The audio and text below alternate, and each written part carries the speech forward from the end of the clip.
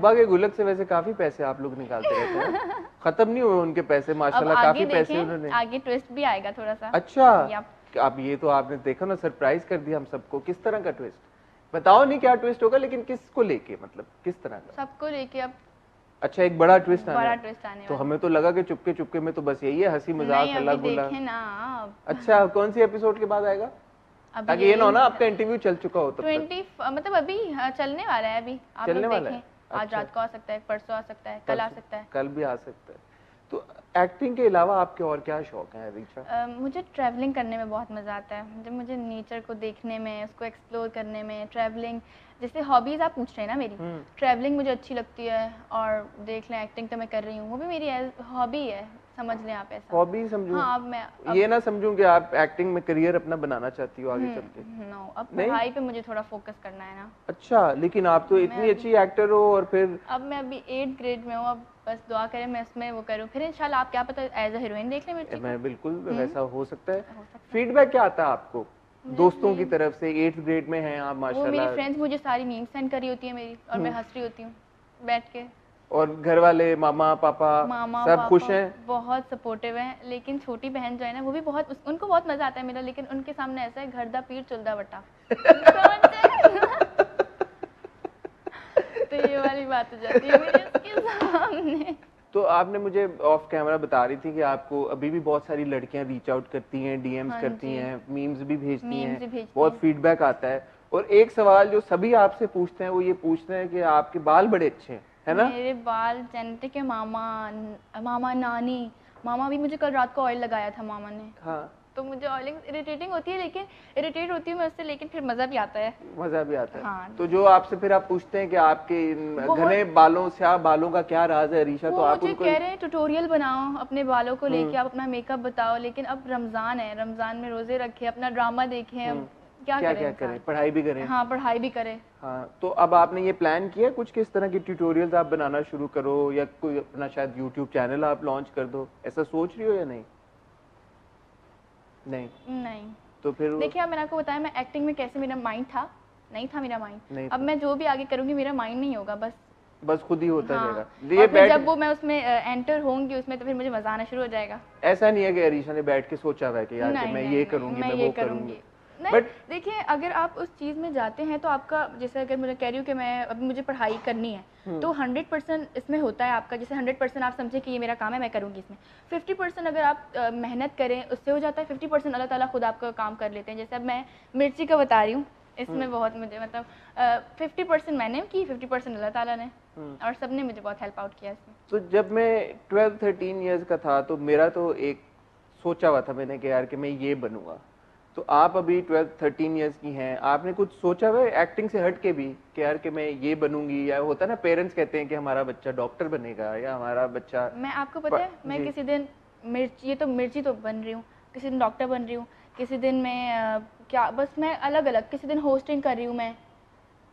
बहुत अलग अलग मेरे वो हैं बस हर होता रहता चेंज होता रहता है मेरा ऐसा नहीं है कि आपने ये सोचा हुआ है कि मैं पढ़ाई करूँगी ये होगा फिर मैं कॉलेज जाऊँगी। पढ़ाई तो करूँगी ना। मतलब पढ़ाई करके मैं इस कॉलेज में जाऊँगी फिर इस कॉलेज के बाद इस यूनिवर्सिटी में जाऊँगी और यूनिवर्सिटी के बाद मैं ये बनूँगी ये करियर परसू करूँगी ये इस तरह के सब्जेक्ट चूज़ करूँगी ऐसी कोई यूनिवर्सिटी में मतलब मैंने सोचा हुआ है लेकिन मतलब इंटरेस्ट होता है ना कि इस हाँ। तरह इस फ़ील्ड में मेरा इंटरेस्ट है। साइंस मुझे बहुत अच्छी लगती है हाँ। मैंने लिया हुआ भी बायो है। बायो है तो साइंस में आपका हाँ इंटरेस्ट है। है मुझे तो ऐसा लग सकता है एक्सपेक्ट कर सकते हैं हम के पंद्रह साल बाद कोई पता चले कि यार वो जो अरीशा आई थी ना मिर्ची बनी थी चुपके चुपके में वो अब मेरी डॉक्टर है। मैं सीएसएस के एग्ज़ाम्स दे सकती हूँ। हो सकता है सीएसएस के एग्ज़ाम दे, तो ये भी हो सकता है।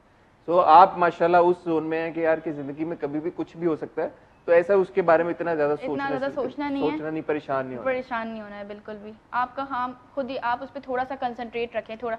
जब हाँ। आप वो स्टार्ट कर लें इससे पहले ना सोचे कि मुझे ये करना है मुझे वो करना है। जैसे अब मैं आज इंटरव्यू के लिए आ रही थी मैंने बहुत इसके लिए मैंने बहुत सोचा था कि अब मैं क्या करूँगी मैं ये क्या करूँगी वो क्या करूँगी लेकिन हो गया। अब देखिए तो मैं बैठी क्या। सोचा था?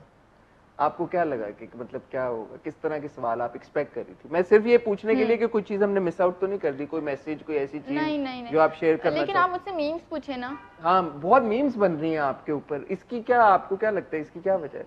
वैसे ये बताओ कि आप आप भी ड्रामा देख रही हो और हम लोग सब ड्रामा देख रहे हैं। जब आप ड्रामा देख रही होती हो आपने तो परफॉर्म किया आपने इन सब लोगों के साथ काम किया है।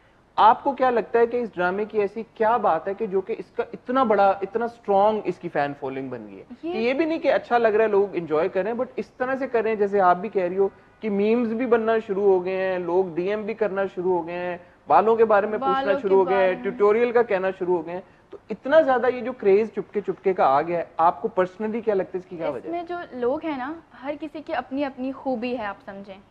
कैरेक्टर्स की एक्टर्स की भी है। कैरेक्टर्स की भी है जब वो उसमें अ, उसको अपने जहन में रख लेते हैं माइंड में रख लेते हैं हम्म। तो उसमें आप खुद ही मतलब जैसे देखिए अभी आप हर किसी की खूबी देखे ना तो उससे फिर लोग को बहुत अच्छा लगता है कि हाँ ये मिर्ची की क्या खूबी है आपके ख्याल में मिर्ची की खूबी तो कोई नहीं है मिर्ची की मिर्ची की खूबी ये है कि वो सबको इतना खुश रखती है हमेशा। खुश रखती है। है ना? हम्म। वो अगर किसी को तंग भी करती है तो उतना नहीं तंग करती कि वो बंदा उसे कल जो आयजा आपी के साथ वो सीन हुआ था मेरा कि मैं हाँ। उनको बोलती हूँ अब आजी आप इमली खाएँगे। जैसे वो सैड थी ना मैं नहीं चाहती हूँ। मतलब इसका ये है कि आयशा करना मिर्ची करना भी चाहती है मिर्ची नहीं भी करना चाहती है। उस दिन बेबी ने कहा स्टेटस लगा दो। मैंने कहा नहीं बेबी अब मुझे नहीं लगाना। उस दिन मुझे जूते पड़े थे मामा से और इस तरह और उस दिन कल आयजा आपी के साथ तो वो अपसेट सी थी ना।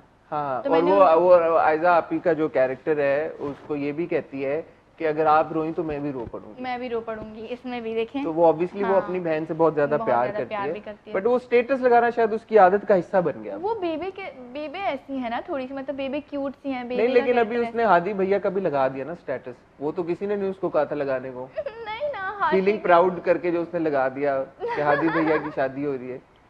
हालाँकि उसने बोला बेबे को कि मैं नहीं लगाऊँगी। फिर उसने लगा भी दिया फिर दोबारा। स्टेटस लगाए बगैर नहीं रह सकती मिर्ची क्या लेकिन उस दिन मुझे मार पड़ी थी ना तो थोड़ा मैं डर गई थी। अब उसके बाद तो फिर वो शुरू हो गई मैं मस्ती। तो ये मिर्ची क्यों कहते हैं इसको? मिर्ची। मुनीबा नाम है ना इसका असल में? जी। तो मुनीबा से मिर्ची कैसे बनी आपका क्या ख्याल है? मुनीबा एक मिर्चो लगाने वाली जैसे आप देखें आप वो इनोसेंट है लेकिन वो जब करती है ना कुछ तो वो बिल्कुल स्पाइस क्रिएट कर देती है। हम्म। मिर्ची ये नाम है उसका।